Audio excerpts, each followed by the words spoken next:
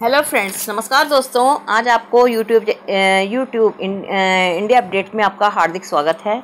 आज हम आपको ये जानकारी देने जा रहे हैं कि वनवासियों के लिए भी और गाँव वालों के लिए भी उच्च शिक्षा का सरकार अच्छा प्रबंध करने जा रही है. तो हम ये देखते हैं कि ये बातें मुख्यमंत्री योगी आदित्यनाथ ने भी रविवार को बवनी में के करी कांड चपटी की स्थिति सेवा कुंज आश्रम में वनवासी समागम से को संबोधित करते हुए कहा है कि उन्होंने समागम में आने वाले सेवा कुंज आश्रम में आदिवासी छात्रा साधना से मुलाकात की। और ये कहा है कि कि बच्चों को आगे से आगे शिक्षा दी जाए।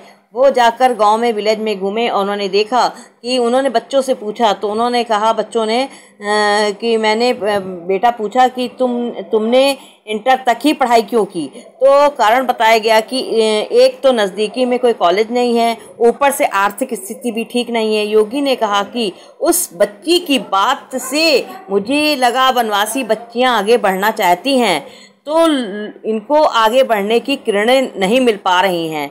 तो इससे हम ये देखते हैं कि उन्होंने राष्ट्रीय लोक सम, लोक समता पार्टी के राष्ट्रीय अधीक्षक को भी उन्होंने ये ध्यान दिया। इससे हम ये देखते हैं कि उन्होंने ये देखा कि पूर्व दौरे के दूसरे दिन शौनाद्र पहुँचे और राष्ट्रपति रामनाथ कोविंद ने वनवासी वनवासी समागम को संबोधित करते हुए कहा वनवासी समाज के बिना देश का विकास संभव नहीं है। सही मायने में तो नागरीय नागरीय विकास और वनवासी विकास एक दूसरे के पूरक हैं।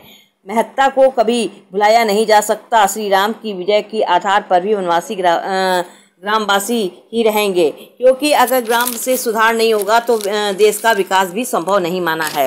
वनवासी विद्यार्थियों को उच्च शिक्षा मुफ़्त मुफ़्त मिलेगी। इस दौरान उनके रहने और खाने आदि की सुविधा को भी सरकार की ओर से निःशुल्क दी जाएगी। उच्च शिक्षा ग्रहण करने की शिक्षा रखने वाले विद्यार्थियों को, अधिकारियों अधिकारों की भी मदद से शिक्षण संस्थाओं को प्रवेश दिया जाएगा। तो हम ये देखते हैं कि हमारे एजुकेशन के क्षेत्र को आगे बढ़ाने में मिस्टर योगी जी का कितना मुख्यमंत्री योगी जी का आदित्यनाथ का कितना हाथ है और वो बच्चों को ग्रामवासी बच्चों को आगे बढ़ाने के लिए कितना अच्छा प्रबंध करने जा रहे हैं। सो so फ्रेंड्स यदि आपको मेरा यूट्यूब इंडिया डेट्स पसंद आया हो तो इसको लाइक और सब्सक्राइब ज़रूर करें। धन्यवाद। फिर आगे मिलते हैं।